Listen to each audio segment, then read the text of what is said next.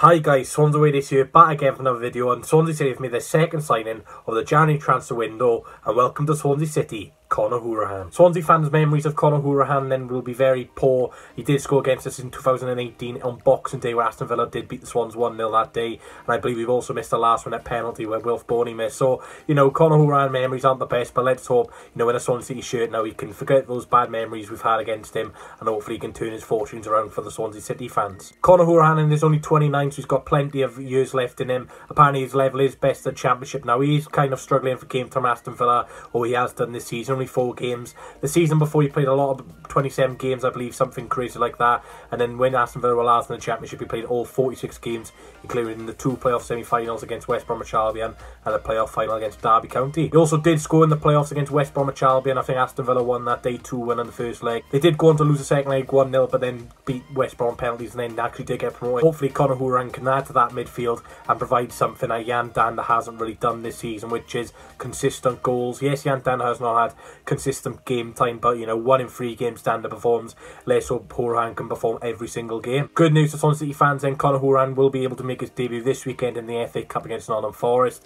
He also didn't play in Aston Villa's third round game against Liverpool with the first team squad out due to uh, the non-monetisation virus, of course. Don't want to get demonetised, and Villa fans were raving about him. He's had so many goal contributions. I think it's 54 goal contributions in about 126 games for Aston Villa and Barnsley. And for a flat centre midfielder, that is very good stats. Got a great free kick on him as well. Good left-footed delivery as well. So expect him to be on corners, the left side corners. Expect him to be on free kicks as well. So you know we've had some poor free kicks over the last couple of years. We've not scored a competitive free kick since 2017, where Gylfi Sigurdsson scored against Manchester United.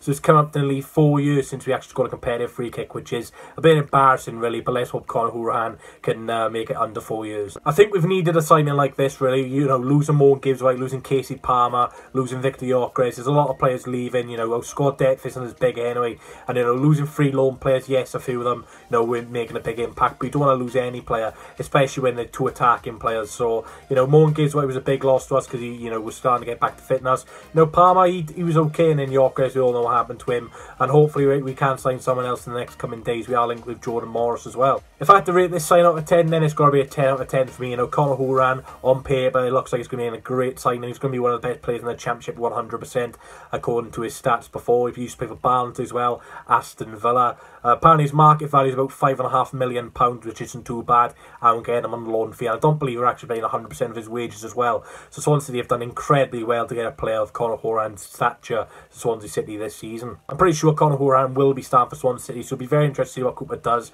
But our midfield, you know, you've got Jay Fulton, Matt Grimes, George Byers, Yan Dhanda, Korey Smith, and our Conor Hourihane. And our midfield, you know, all six of them could play for any championship club in my opinion. Maybe not Norwich, but you know that midfield three we've got at the minute is exceptional. And now we're just adding quality. I'm so looking forward to the rest of the season. So let me know, guys, in the comment section down below. What do you think of this signing? Like I said, 54 goal contributions, 126 games at Aston Villa and Barnsley respectively.